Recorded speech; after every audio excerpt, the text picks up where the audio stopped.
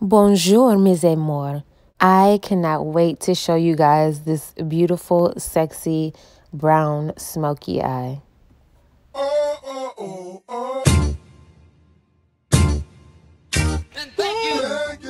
Hey guys, I know I always forget this. So if you're not subscribed, go ahead and subscribe and we're to jump right into it. I am cleaning up my brows right now, just brushing them out. And yes, I am back to using my milk of magnesia. Milk of magnesia never fails me. And like I said, I am very, very oily. It's like sebum constantly comes out of my pores all the time. And I, I, I just can't control it. So the best way for me to control it with makeup so it doesn't look so shiny and oily, I use milk of magnesia and I've started to use I've been using it on my eyebrows, but I just recently seen someone actually put it on their eyebrows like this, like I do. and I've done this. I just didn't want to show y'all and seem ratchet, but it works for me. It has not taken out my eyebrows or anything like that. Like I don't have any patches. And actually, my brows have been growing back. I don't know why or if that's the cause, but they've been growing back. So it, it has not harmed my eyebrows, but proceed with caution with your own um, choices and what you decide to use on your face. But I am going in and just giving you guys a short eyebrow tutorial with the milk of magnesia. I normally use a brush and a dip brow product, but right now I am using the LA Pro Girl concealer in a brown shade or dark dark brown shade.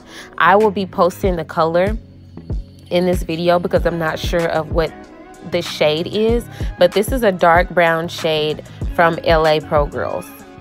And I know I get a lot of compliments on my eyebrows, but eyebrows eyebrows is one of those things to where you just have to keep practicing and it depends on how you like your eyebrows, your shape of your eyebrows, what product you prefer using, um, how you decide or how much time you have because the the way I do my eyebrows, it takes forever. Like this is the longest part of doing my makeup is my eyebrows. And some days I don't want to do a full coverage brow.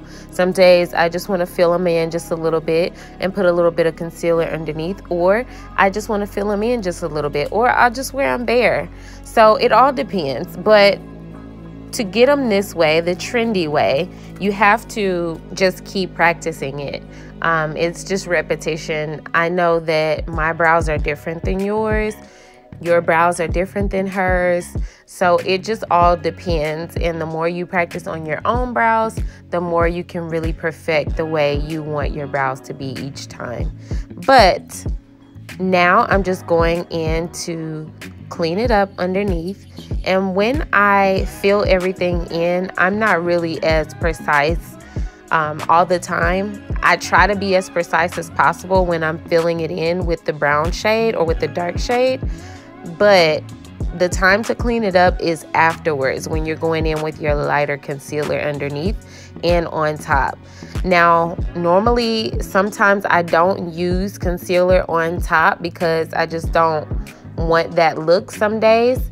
But since I'm using Milk of Magnesia today and, I'm going for a full coverage look, I am concealing on top with one shade darker than my than that concealer underneath or one shade lighter than my foundation.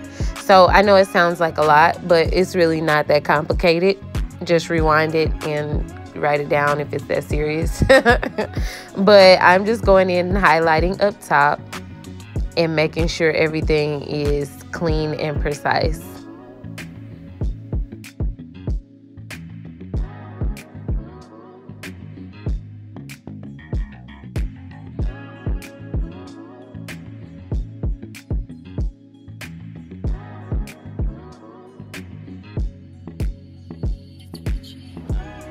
And it's okay to mess up, but you don't want to mess up too much at this point because you don't want to have to go back and have to wipe the whole brow off. Now that will, will ruin your whole makeup experience. Like your whole vibe will change if you have to wipe off a whole eyebrow and start over. So now we're just going in and blending out that concealer and making sure everything is kind of blending into our skin before we apply any foundation or any eyeshadow.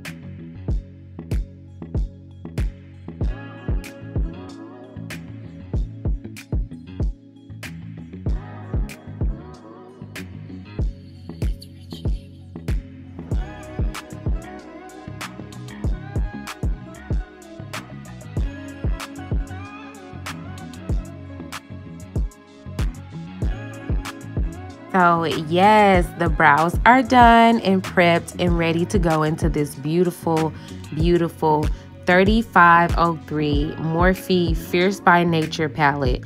Y'all, when this palette came in the mail, I was like, this is my first serious palette, like from Morphe. Morphe is like known to be like artistry, like you're a real MUA is how you're supposed to feel when you get a palette like this. And that's how I felt. I just didn't know where to start. And I didn't know what color to use for transition. I was just like, oh, this everything's just so pretty. Goodness, I don't know where to start. So I decided to go in with this color. And I'm going to be putting whatever the name of this color is in the video so you'll know exactly what it is. But um, I felt like this was the perfect transition shade um, or warm shade to warm it up from the brown um, into your highlight or brow bone area. So I'm just going in and packing this in my crease and kind of blending everything out. And mind you guys, I'm still getting comfortable with eyeshadow. I am normally a basic eyeshadow girl, you know, just, you know, maybe a pop of color every now and then. But I kept it simple with this look for that exact reason. Now I'm going in with a lighter orangey shade. I'm going to be tagging that, like I said earlier in the video, to let you guys know exactly what shade I'm using. I just wanted to brighten it up just a little bit more before I go in with the brown shade.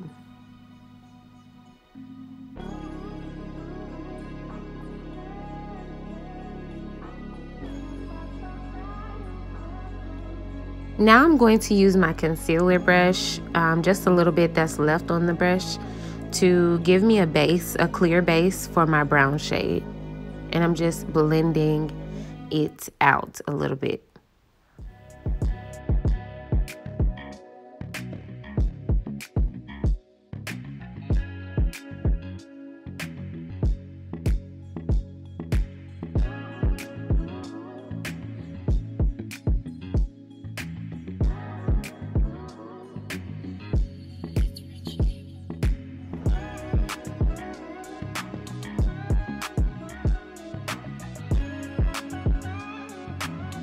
So the brown shade that I'm going to be using is from the Chocolates by Juvia's by Juvia's Place. I decided to use a brown shade in here because I just wanted to use the palette. I was so excited for Juvia's Place when I finally got them. And I'm just going all over my eyelid to create that dark smoky effect. And blending out in between the orangey shade and the brown. Now, Juvia's Place, I don't see any names on these shades, so I don't know. I showed you guys the, the shade I'm using. Now I'm going in with the B-Hydra Intensive Hydration Serum by Drunk Elephant. This stuff, I love this stuff for moisturizer. It's just so expensive. I still have some left from my little trial size, but it's really good. Now, of course, I'm going in with the Soft Matte by Fenty for my primer to prime my face. And I am using honey and the setting powder to set my face and kind of reduce a little bit of that oil or moisture um, and set my face before I apply my MAC foundation in the shade NC47 in the Studio Fix Fluid. And now for the first time, I am going to be color correcting all those little dark areas around my mouth. And you may not be able to see them, or you may say, girl, you don't need to color correct. But I see the things that I need to color correct. And now that I know that I can color correct or that I need to, um, I'm going to start doing this when I want a full coverage, like full, full beat coverage look. Um, and that's what I'm going for. I kind of blended out every area that I use the color corrector in with my finger.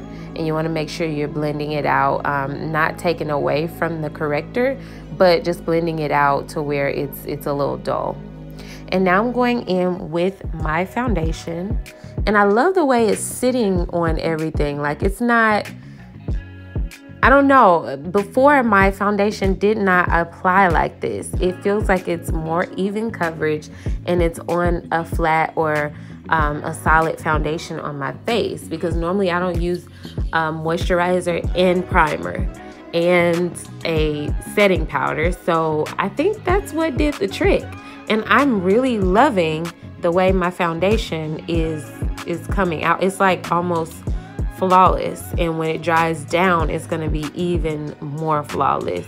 So you may want to try this little routine, you know, using moisturizer that works for your skin, then prime, um, and then set with the powder. And if you need to color correct, you know, color correct any dark marks that you have, blend it out, and then apply your foundation. Boom, we're on to something.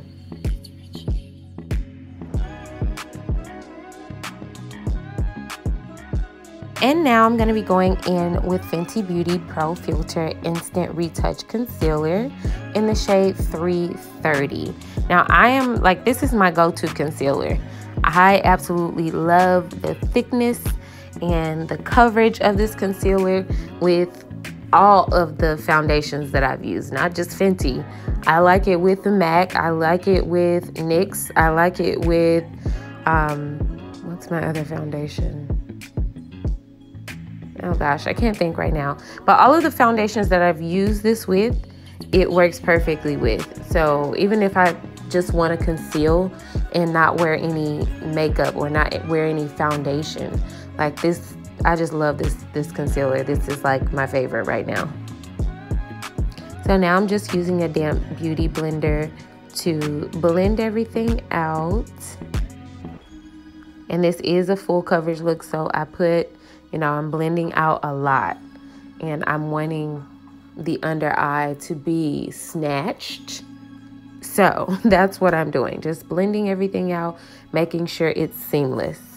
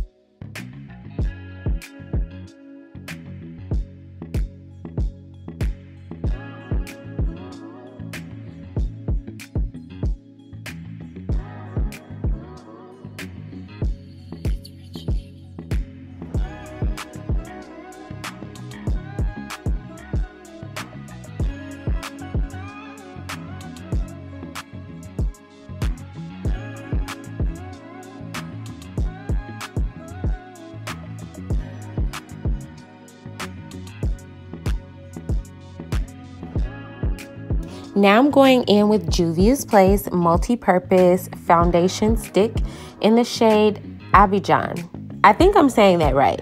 But I'm going in with this to conceal and kind of contour my nose and everywhere that needs to be contoured.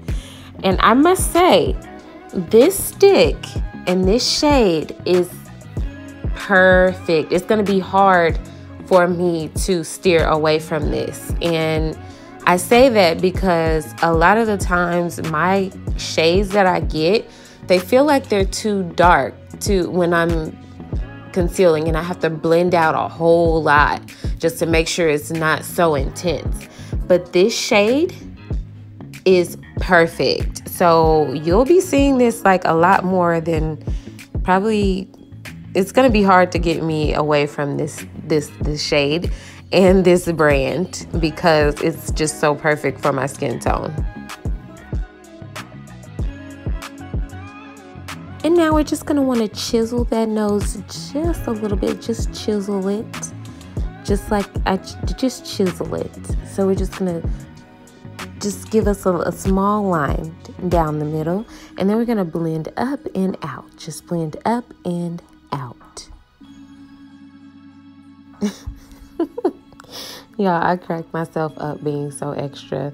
But this nose contour, the fact that I don't really need it, I make sure that I have to blend, you know, blend as much as possible this nose situation because I've been seeing, I don't know if it's trendy or or what it is, but I've been seeing this line down the middle and nobody's really blending out the edges of that line. So I just make sure I pay close attention and kind of baby that area because I don't want to be looking like um, the wooden Pinocchio with, um, you know, just the, the wooden looking nose. So, yeah, that's what I'm doing. Just blending my contour out in Abidjan. I think that's how you say it. If it's not how you say it, then that should be how you say it because the way I say it, it just sounds so sexy. Abidjan.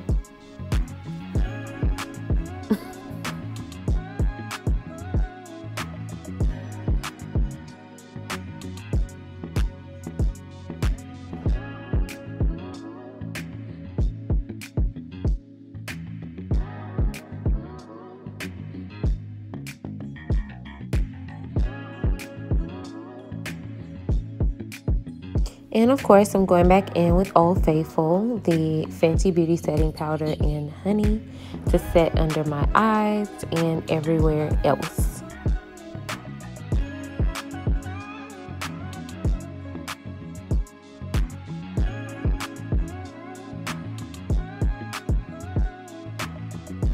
And sometimes I'll conceal down here um, underneath my darker contour shade but today I didn't really want to conceal underneath. Sometimes it's too much and I don't really feel like blending that much.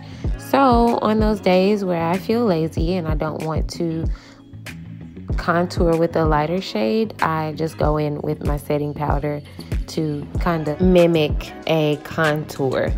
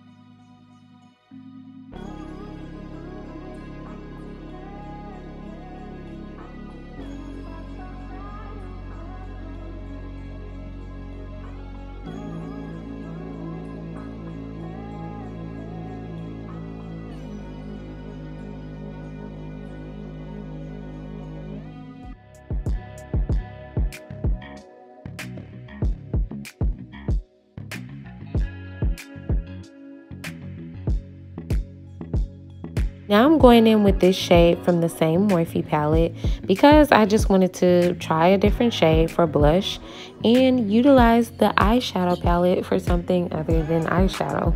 But I'm just going in with that shade for blush, which turns out to be pretty.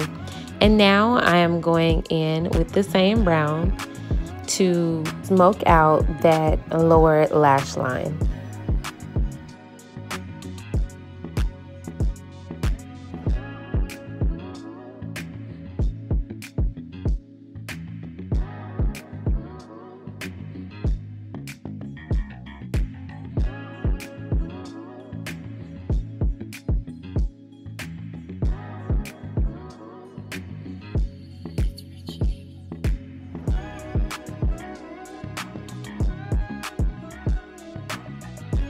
And I am going to be highlighting with Juvia's Place the Heroin Glow 2. Now I love this highlighter because it has like a hint of pink in it.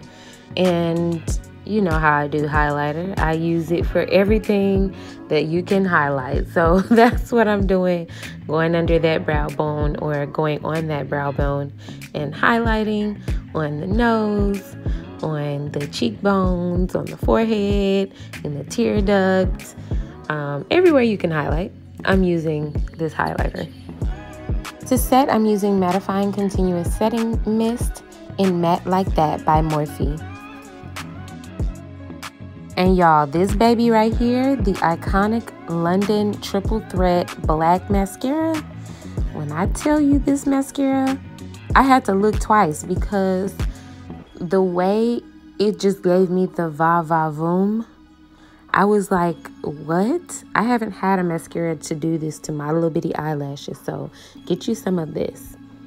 And of course, I'm going in with Sun Stalk'r Bronzer by Fenty because this is one of the other things I swear by. And I am just warming up my face by bronzing in the shade Cocoa Naughty. And another new favorite thing, Lil Mama has her own line of lashes and I love these lashes. Now, do I put them on properly all the time? I'm still learning that too. But I love the lashes and now I'm a little behind. This is a Morphe set of mattes and one lip gloss. And when I tell y'all, I am super in love with these shades, especially that one. The gloss is beautiful. It has like an iridescent type of glitter. And we've reached the end of the video. Wasn't that crazy? It feels like I just started. I'm in love with this sexy little brown look. I hope you guys try this look as well. Remember to subscribe, subscribe, subscribe, and like and comment. I love your feedback. I love your support, and I thank you for your support. And I can't wait to shoot and film my next video and post that. So stay tuned. Au revoir. Love you guys.